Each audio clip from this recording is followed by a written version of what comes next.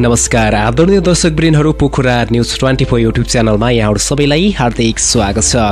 कृपया तपाईँ भर्खर मात्र पोखरा न्युज ट्वेन्टी फोरमा आउनुभएको छ भने एक सब्सक्राइब गर्न नभुल्नुहोला र नजिकै रहेको बेल आइकनलाई पनि थिच्न नबिर्सिनुहोला ताकि हामीले अपलोड गरेका नयाँ ताजा भिडियोजहरू तपाईँहरू समक्ष सबैभन्दा पहिला आइपुगोस् र त्यस्तै गरी सम्पूर्ण क्रिकेट जगतका नयाँ ताजा न्युजहरू तपाईँले पाउनको लागि पनि हाम्रो युट्युब च्यानललाई फलो गर्न नभुल्नुहोला। आज मैले तपाईँलाई जानकारी दिँदैछु सिपिएलको खेल तालिका सार्वजनिक भएको छ क्यारिबियन प्रिमियर लिग सिपिएल जसमा सन्दीप लामिछाने गत वर्षदेखि वर्षदेखि नै सिपिएलमा आबद्ध छन् र यो पटक भने सन्दीप लामिसाने गत वर्षको टिममा खेल्ने छैनन्। उनको टिम चाहिँ चेन्ज भएको छ। यसको बारेमा मैले जानकारी दिँदैछु। सन्दीप लामिछाने आबद्ध रहेको टिम कुन कुन टिमसँग कहिले कहिले खेल्दैछ यसको बारेमा पूर्ण रूपमा जानकारी दिनेछु। क्यारिबियन प्रिमियर लिगमा तपाईँले यस भिडियोलाई अन्त्यसम्म हेरेर साथ दिन सक्नुहुन्छ र लाइक कमेन्ट र सेयर पनि गर्न नभुल्नुहोला र पोखरा न्युज ट्वेन्टी फोरलाई एक सब्सक्राइब गर्न पनि नभुल्नुहोला। वेस्ट इन्डिजमा आगामी सेप्टेम्बर चारदेखि अक्टोबर बाह्रसम्म आयोजना हुने सातौँ सिजनको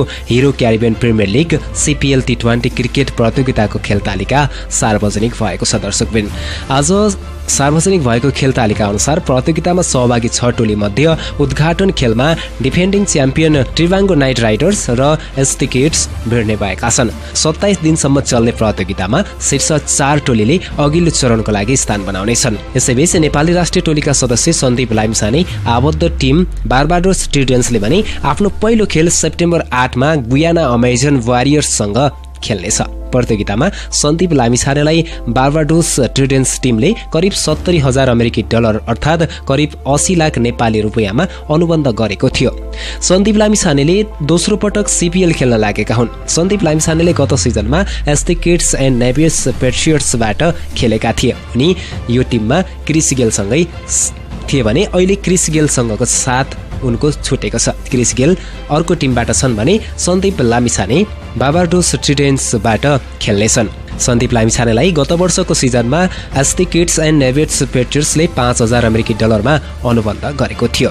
यस वर्ष पनि जसरी सन्दीपले अघिल्लो वर्ष प्रदर्शन गरेका थिए त्यसरी नै अवश्य पनि राम्रो प्रदर्शन गर्न सक्नेछन्। यसमा भने कुनै दुई मत नै छैन। सन्दीप लामिछानेले आफ्नो स्पेलको राम्रो बलिङ गरे भने अवश्य पनि सबैको मन जित्न सक्नेछन्। सिपिएल टी ट्वेन्टीमा सन्दीप लामिछानेलाई शुभकामना छ धेरै राम्रो खेल प्रदर्शन गर्न सकुन्। सम्पूर्ण क्रिकेट प्रेमी समर्थकहरूको मन जित्न पनि सफल हुन्। हाम्रो तर्फबाट शुभकामना छ र धेरै विकेटहरू लिन पनि सकुन्। अवश्य पनि सन्दीप लामिसानेले राम्रो प्रदर्शन गर्दै आइरहेका छन् र यसमा पनि अहिलेको क्यारिबियन प्रिमियर लिग दुई हजार उन्नाइसमा पनि सन्दीप लामिसानेले राम्रो प्रदर्शन गर्न सकुन्।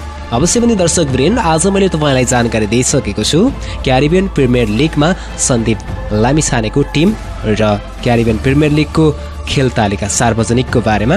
मैले जानकारी दिएको छु।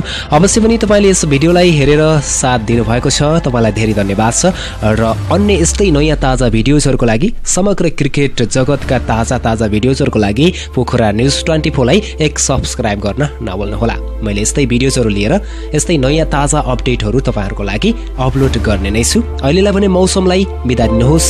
नमस्कार।